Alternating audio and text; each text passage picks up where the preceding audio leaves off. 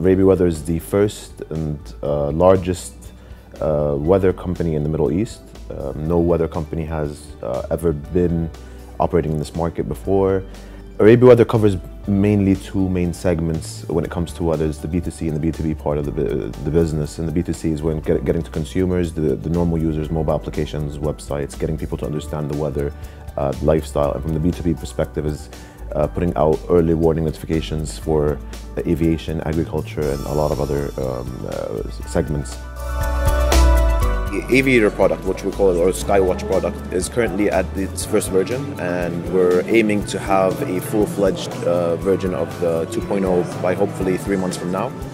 Um, the product is going to help a lot of companies like our partner uh, Royal Jordanian to uh, understand how the weather is going to impact them, whether it's in uh, forecast or observations, but mostly focused on forecast and uh, schedule and operations.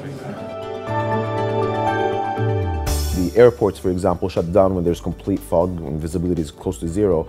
And what happens is that we can give them a notification saying 10 days later, there might be fog and every day we get closer to that event. If that threat is relieved, we tell them that it's gone.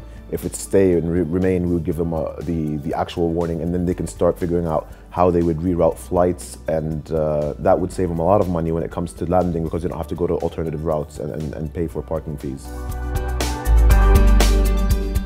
When it comes to green energy, um, deployment of, of, wind turbines or uh, solar panels is, is, is tricky.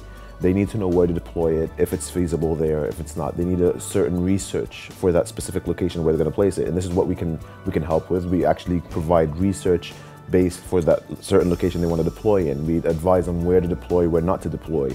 Um, we also help, help uh, in forecasting uh, the energy that, could, that could be saved if it was deployed in a certain way.